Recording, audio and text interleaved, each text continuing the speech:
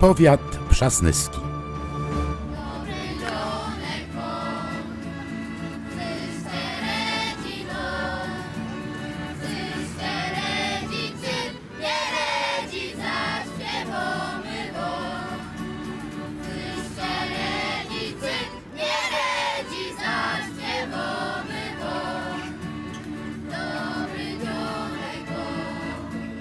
Powiat Przasnyski zamieszkuje niemal 55 tysięcy ludzi, a liczba mieszkańców już wkrótce może znacząco się zwiększyć, jeżeli Politechnika Warszawska otworzy tu swoje podwoje. A wszystko na to wskazuje.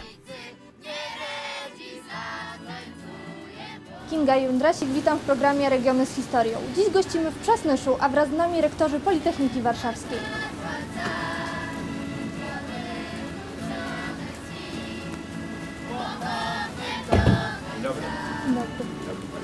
Panie rektorze, dzisiaj jesteśmy świadkami tworzenia nowej historii. Tak, myślę, że to bardzo ważne wydarzenie. E, Sądzę, że bez przesady można nazwać, iż wydarzenie, które może mm, przyczynić się do rozwoju tej części regionu Mazowsza i wydarzenie, które może również przynieść wielkie korzyści Politechnice Warszawskiej. Bowiem y, zarówno Mazowsze, jak i Politechnika Warszawska od lat oczywiście współpracują ze sobą, y, tworząc nie tylko warunki do edukacji młodzieży na najwyższym poziomie, europejskim, światowym nawet, bo takie ambicje są największej uczelni technicznej w Polsce, e, ale, ale Politechnika Warszawska i, i, i, i, i całe Mazowsze chciałyby nadać temu nową wartość. Jesteśmy w przededniu nowego rozdania środków finansowych, które będą w dużej części skierowane do regionów i będą dystrybuowane przez regiony. W związku z tym dla podniesienia e, powiedzmy sobie poziomu nie tylko intelektualnego ym, społeczeństwa, ale również podniesienia poziomu technicznego funkcjonowania całego regionu potrzebny jest kontakt z najlepszymi, z uczelniami, uniwersytetami, w tym przypadku Politechniką Warszawską. Politechnika Warszawska jest oczywiście mm, mm, globalną firmą, która działa na terenie całego kraju, Europy i świata. Nasi absolwenci znajdują się wszędzie, rozsiani po świecie, ale zasilamy naszymi absolwentami przecież i gospodarkę narodową, i administrację, a także inne uczelnie. Myślę, że nasze wspólne działania tu w tym regionie, chociażby inicjatywa powołania poligonu doświadczalnego dla nowych rozwiązań technologicznych, które y, tworzone są przez naukowców w Politechnice Warszawskiej właśnie w tym regionie, mogą pozwolić z jednej strony na rozwój tego regionu, na to, aby najzdolniejsi, naj, naj, naj, najbardziej y, przygotowani do, do, do, do studiowania e, trudnej uczelni, jaką jest Politechnika Warszawska, znaleźli miejsca w tej Politechnice Warszawskiej, byli właściwie przygotowani do podjęcia tych studiów a z drugiej strony, aby w tym regionie pojawiły się, no powiedzmy sobie, obszary, w których ta młodzież może na co dzień, nie wyjeżdżając stąd, spotkać się z nowoczesną technologią, nowoczesną techniką. I sądzę, że w przyszłości może to przynieść wielkie korzyści obu stronom. Uczelni, takie jak jest Politechnika Warszawska, Politechnika na Mazowszu, Politechnika w tym regionie, no i oczywiście całym regionom i w tym w szczególności okolicom Przasnysza. Panie rektorze, to pierwsza taka inicjatywa w Polsce. Dlaczego jest ich tak mało? Ja sądzę, że potrzebna jest inicjatywa ze strony zarówno uczelni, jak i samorządu lokalnego. W tym przypadku samorząd wyszedł z taką inicjatywą, uczelnia odpowiada na taką inicjatywę zgodnie ze swoją misją. Kurpiowski zespół folklorystyczny Kalina z Zarąb, choć młody, zyskał już uznanie w świecie. Prawdziwą furorę wywołał na Międzynarodowym Festiwalu Artystycznym My XXI wiek w Bułgarii oraz podbił serca publiczności na Międzynarodowym Festiwalu Artystycznym Orfeusz w Italii w Lido di Jesolo we Włoszech, zdobywając Grand Prix festiwalu. Takiego zespołu warto posłuchać.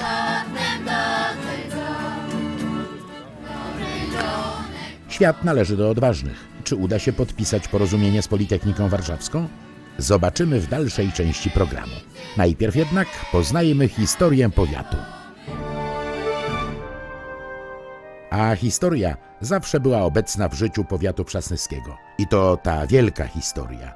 I tu widać ją na każdym kroku. To właśnie w nagrodę za polskie termopile, czyli za obronę z baraża w 1649 roku, Jan Kazimierz nadał starostwo przasnyskie księciu Jeremiemu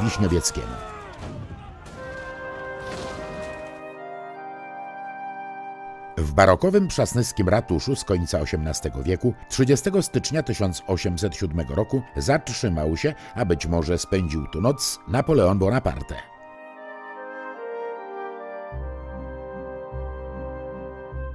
Inicjatorem budowy kościoła świętego Jakuba i świętej Anny w Przasnyszu był brat świętego Stanisława Kostki, chorąży ciechanowski Paweł Kostka. Na budowę kościoła i klasztoru Paweł przeznaczył całe swoje rostkowskie dobra. Uzyskał też od papieża Sykstusa V zgodę na osadzenie w klasztorze zakonu Bernardynów.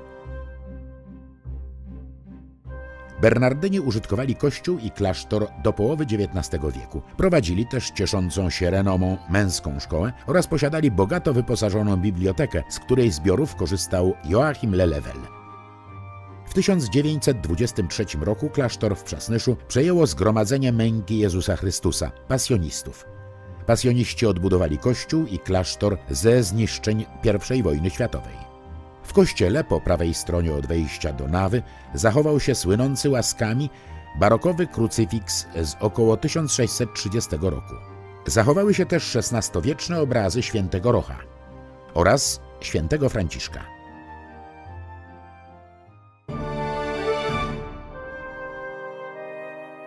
Gotycki kościół farny pod wezwaniem w niebowzięcia Najświętszej Maryi Panny powstał w 1474 roku.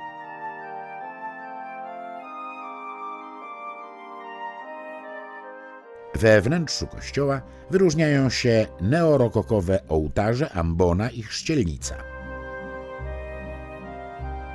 To właśnie tu został ochrzczony prymas Polski, ksiądz kardynał Aleksander Kakowski. Również tu w 1550 roku dokonano obrzędu chrztu świętego Stanisława Kostki. W kościele spoczywają jego rodzice Jan i Małgorzata Skryskich oraz bracia Wojciech i Paweł, chorąży ciechanowski.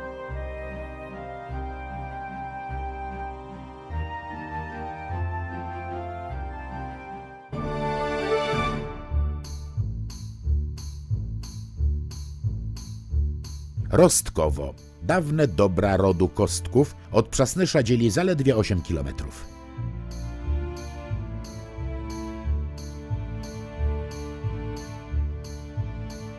Dziś jest to miejsce kultu świętego Stanisława Kostki, cel wielu dorocznych pielgrzymek. To właśnie tu, w 1550 roku, urodził się święty Stanisław Kostka. Był synem kasztelana zakroczymskiego Jana Kostki i Małgorzaty Skryskich. Święty Stanisław Kostka urodził się w dworku, na miejscu którego kolejny dziedzic Rostkowa, Józef Zieliński, wzniósł drewniany kościół z dwiema wieżami, kryty dachówką. Obecny kościół pod wezwaniem świętego Stanisława Kostki, stojący na miejscu poprzedniego drewnianego kościoła, został wzniesiony ze składek społecznych w latach 1895-1900. Święty Stanisław Kostka, słynny z pobożnego życia, został kanonizowany w 1726 roku przez papieża Benedykta XIII. Podczas ciężkiej choroby w czasie snu miał wizję, w której święta Barbara z dwoma aniołami podała mu komunię świętą i drugą, w której Matka Boża z dzieciątkiem Jezus składa mu w ramiona dzieciątko. Rano wstał zdrowy. Święty Stanisław Kostka zmarł w Rzymie i spoczywa tam w kościele pod wezwaniem świętego Andrzeja. W Rostkowie obok relikwii świętego Stanisława Kostki znajdują się relikwie Jana Pawła II. Przy kościele wciąż rośnie lipa, pod którą modlił się święty Stanisław Kostka.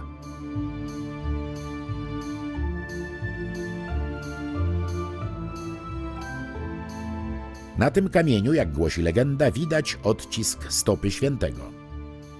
Jest też staw, nad którym modlił się święty, jedyny na świecie staw, w którym do dziś nie słychać żab. Święty prosił żaby, by swoim kumkaniem nie zakłócały mu modlitwy i żaby zamilkły. I milczą do dziś, nie zakłócając modlitw licznych pielgrzymów. 17 kilometrów za Przasnyszem leży Krasne, gniazdo zasłużonego dla Rzeczypospolitej rodu Krasińskich. Dzieje rodu dziś trudno odtworzyć. Zbyt wiele dokumentów rodowych zgromadzonych w Bibliotece Krasińskich spłonęło podczas okupacji. A przecież z tego rodu pochodzi wielu senatorów, biskupów i pisarzy. W dziejach Polski Krasińscy byli patriotami i reformatorami, wspierali konstytucję 3 maja i insurekcję kościuszkowską. Rodowe gniazdo Krasne uczynili perłą północnego Mazowsza. Z budynków wzniesionych w Krasnem przez Krasińskich zachowała się XIX-wieczna wieża ciśnień, która doprowadzała wodę do pałacu.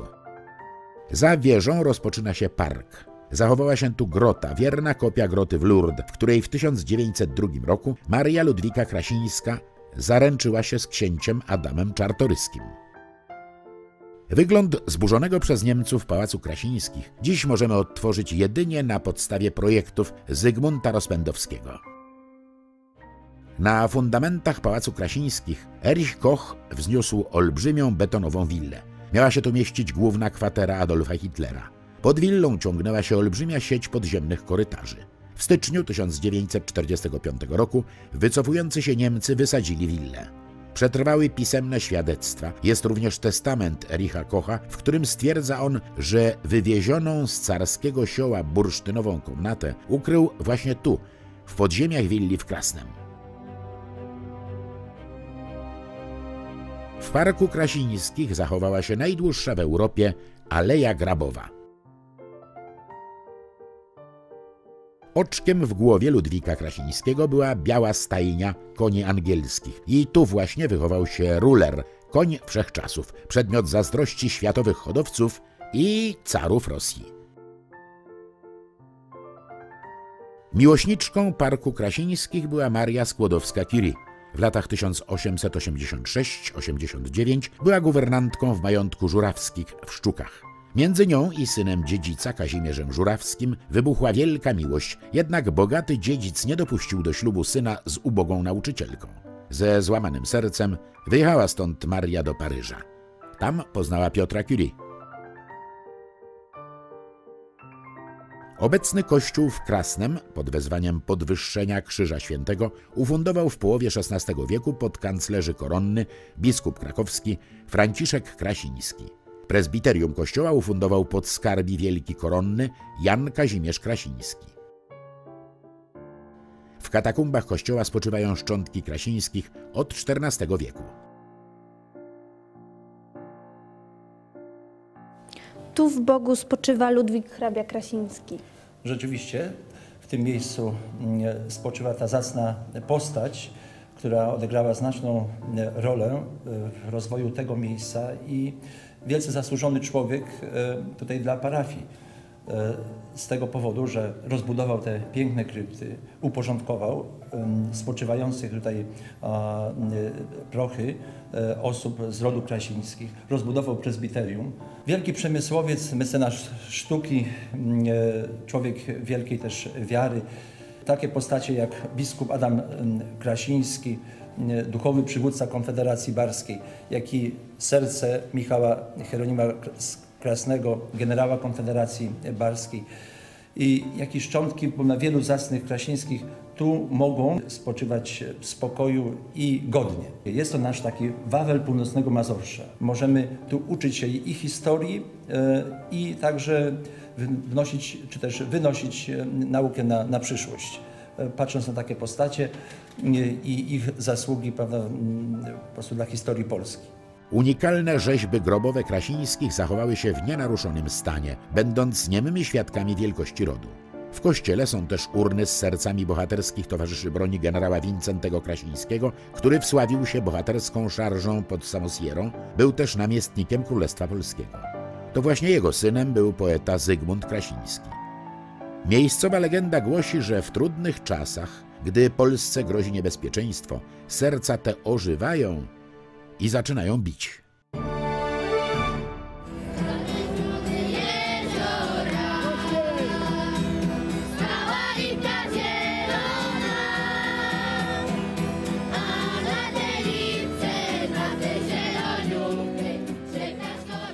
No i wracamy do współpracy z Politechniką, a z tym wszyscy łączą tu olbrzymie nadzieje.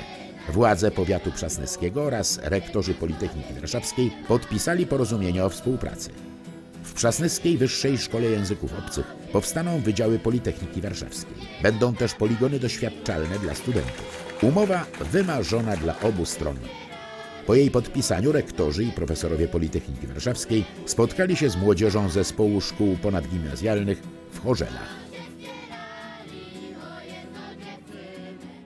Jestem przekonany, że zarówno dla tutejszego środowiska, dla tutejszej społeczności przasnyskiej, jak również dla Politechniki Warszawskiej, taka współpraca w oparciu o to porozumienie ma bardzo realne szanse na rzeczywistą realizację, bowiem jesteśmy sobie w moim odczuciu potrzebni. Myślę, że ta nasza współpraca byłaby tu jak najbardziej na miejscu i możliwa, ponieważ my byśmy mogli wykształcić takiego studenta, który nie tylko będzie y, umiał posługiwać się y, techniką i mieć wiedzę właśnie w tym zakresie, ale również będzie znał język na takim poziomie, by móc skorzystać z tego, co już zrobili lepsi od nas.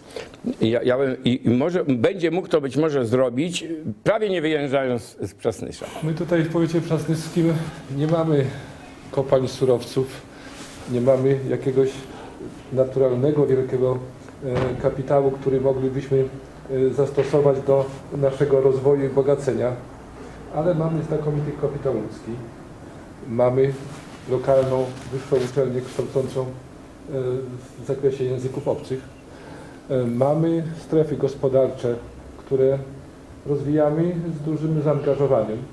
Chodzi o to, żeby powiecie przasnyskim, na terenie tych stref, można było zrobić taki terenowy poligon doświadczalno-wdrożeniowy w połączeniu z kapitałem miejscowym, ale też i zewnętrznym, tym biznesowym kapitałem prywatnym, który jest bardzo zmotywowany i chciałby przejść do przodu, chciałby gonić świat, chciałby być konkurencyjny w ramach Europy, ale potrzebuje wsparcia ze strony wyższych uczelni, w szczególności uczelni technicznych, które mają y, badania, które mają wzory użytkowe i które mogą te badania dalej kontynuować na rzecz y, biznesu y, i które mogą pomóc w ogóle we wdrożeniu już na skalę przemysłową pewnej produkcji, pewnych wzorów użytkowych.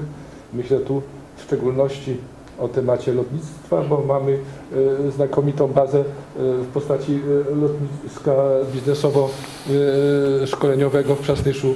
Myślę właśnie o elektronice, myślę o energetyce odnawialnej, myślę o w ogóle o, o rozwiązaniu problemu magazynowania, czy też dobrej, dobrej pracy elektrowni gazowych, wiatrowych, które mają swoją specyfikę bardzo trudną e, ze względu na nierówną e, moc, którą mogą dostarczyć e, do sieci.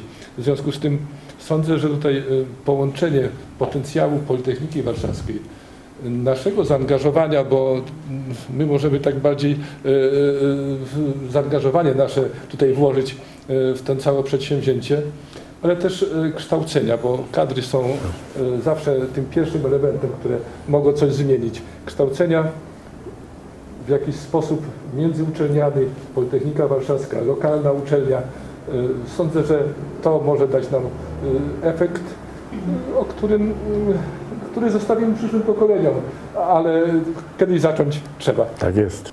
Nie widzę mm, problemów, aby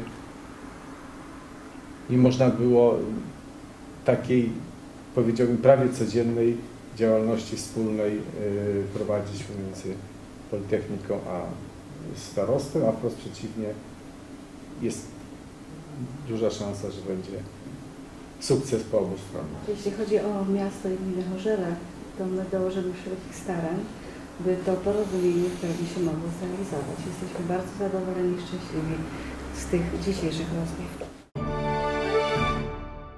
Jak pan marszałek ocenia dzisiejsze porozumienie i czy e, taka duża inicjatywa mogłaby liczyć na pańskie poparcie? To jest bardzo innowacyjny e, projekt. Bardzo się cieszę, ponieważ jestem też e, członkiem konwentu Politechniki Warszawskiej. Teraz to już jest uniwersytet.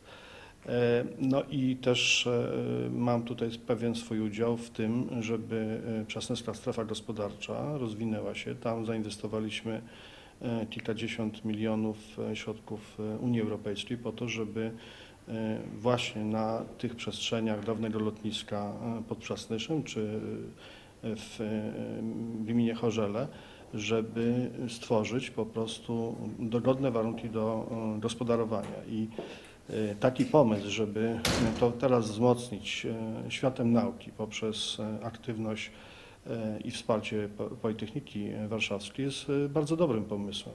E, Można sobie to wyobrazić e, właśnie w taki sposób, że będą tam się osiedlały firmy, szczególnie firmy innowacyjne, będą korzystały z dobrodziejstw specjalnej strefy ekonomicznej, która tam na części tego terenu jest e, wydzielona, e, a uczelnia będzie e, tam e, transferowała najlepsze swoje pomysły, projekty, może e, świeże i nowe przedsiębiorstwa, które będą na przykład e, w postaci inkubatora w Politechnice e, zawiązywane, a później e, przesadzane, może tak powiem, w taki sposób. e, do e, specjalnej strefy ekonomicznej, gdzie będą mogły się dalej rozwijać. Jest to znakomity pomysł e, i tutaj gratuluję zarówno panu rektorowi Politechniki Warszawskiej, jak i panu staroście Przasnowskiemu, bo e, to jest działanie z wyobraźnią i to jest wypełnianie oczekiwań e, strategicznych Unii Europejskiej w nowej perspektywie do 2020 roku.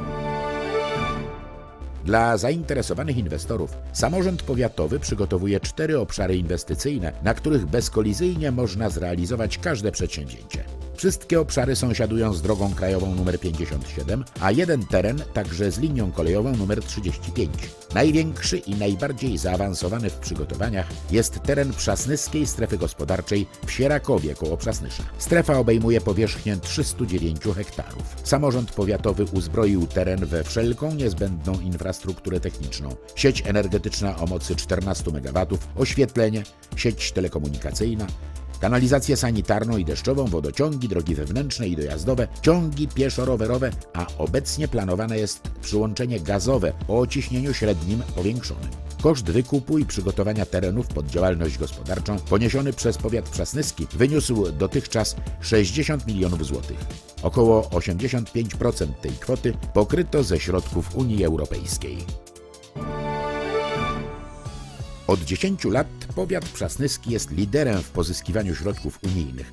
I właśnie z tych środków przebudowywany jest Trakt Królewski. Droga łącząca Przasnysz, Kobylaki, Brzeski, Kołaki i obszary Przasnyskiej Strefy Gospodarczej w Sierakowie i Chorzelach. Zakładanymi celami projektu jest poprawa konkurencyjności powiatu przasnyskiego i regionu północnego Mazowsza poprzez stworzenie sprzyjających warunków dla rozwoju potencjału innowacyjnego i promowanie rozwoju przedsiębiorczości, a także poprawa spójności gospodarczej i przestrzennej obszaru północnego Mazowsza oraz wspomożenie dyfuzji procesów rozwojowych z głównego ośrodka regionu Warszawy oraz z ośrodków subregionalnych do obszaru powiatu przasnyskiego.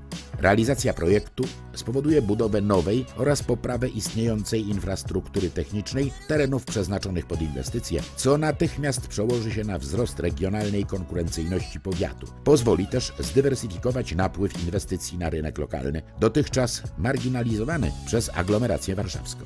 W efekcie wykorzystanie wolnych zasobów terenów inwestycyjnych zaktywizuje lokalny rynek pracy. Może powstać ponad 100 miejsc pracy na terenie o bardzo wysokiej stopie bezrobocia. Efektem realizacji projektu będzie też kompleksowe uzbrojenie wolnych terenów inwestycyjnych zlokalizowanych na terenie północnych gmin powiatu. Realizacja projektu dzięki budowie nowej linii gazociągu o ciśnieniu średnim podwyższonym spowoduje zwiększenie bezpieczeństwa energetycznego całego powiatu przasnyskiego, powodując tym samym dostęp do gazociągu wszystkich gmin powiatu przasnyskiego. Wzmocni też potencjał północnych gmin powiatu przasnyskiego dzięki poprawie dostępu do infrastruktury energetycznej. Przedsiębiorcy inwestujący w specjalnej strefie ekonomicznej w ramach podstrefy w Chorzelach mogą liczyć na korzyści takie jak zwolnienia podatkowe, PIT lub CIT, możliwość zakupu w pełni przygotowanych pod inwestycje działek po konkurencyjnej cenie, dostęp do linii kolejowej, bezpłatną pomoc przy załatwianiu formalności związanych z inwestycją oraz na terenie niektórych gmin zwolnienie od podatku od nieruchomości. Posłuchajmy, co sądzą o potrzebie realizacji projektu mieszkańcy powiatu.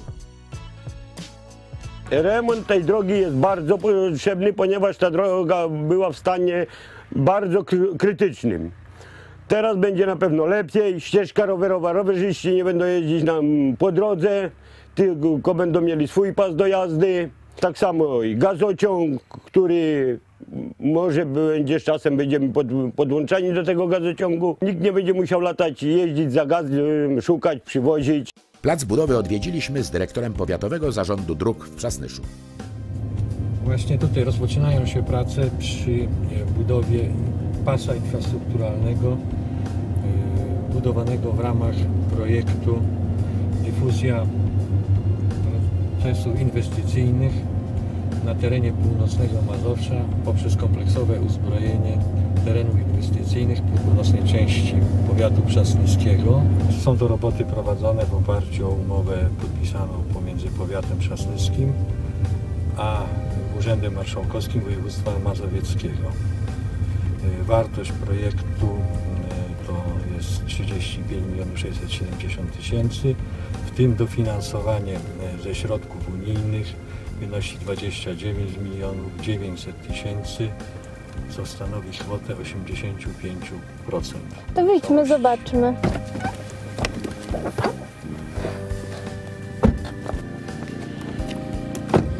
Powstaje droga, powstaje ścieżka rowerowa, powstaje linia wysokiego napięcia, zabezpieczone jest miejsce pod gazociąg e, średniego podwyższonego ciśnienia. Ponadto są prowadzone roboty przy wykonywaniu przyłączy, przy robotach wodociągowych, kanalizacyjnych. Teleku- Telekomunikacja również wchodzi w skład tego projektu.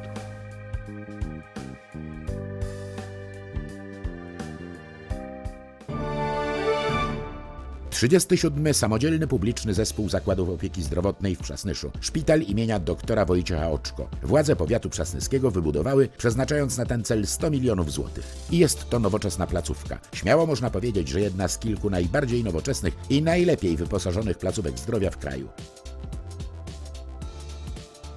No i ponownie gościmy w zespole szkół ponadgimnazjalnych w Chorzelach. A warto wiedzieć, że szkoła należy do wiodących na Mazowszu. Nic dziwnego, że Politechnika Warszawska chce objąć szkołę swym patronatem.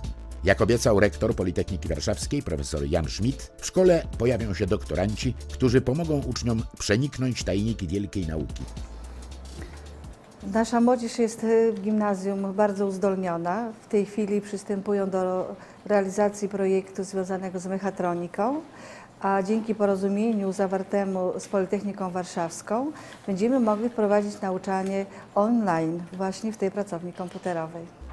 Szkoła w Chorzelach zadbała o wszystko. Przyjezdni uczniowie nie mogą narzekać. Mają do dyspozycji luksusowo wyposażony internat, wygodnie urządzone pokoje, bogato wyposażoną bibliotekę i dostęp do internetu. Mają też zapewnione całodzienne wyżywienie i to jakie. Palce lizać zupełnie jak u mamy.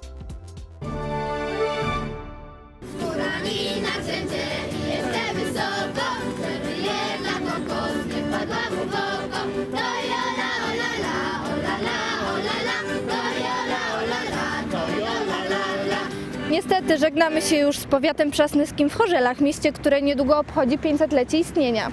Król Zygmunt Stary nadał naszemu miastu prawa miejskie, przekazał tę ziemię następnie swojej żonie, królowej Bonie i dlatego w naszym herbie znajdują się elementy rodu Sforców. Wszystkich serdecznie do naszego pięknego miasta zapraszamy. A zatem do zobaczenia w Chorzelach.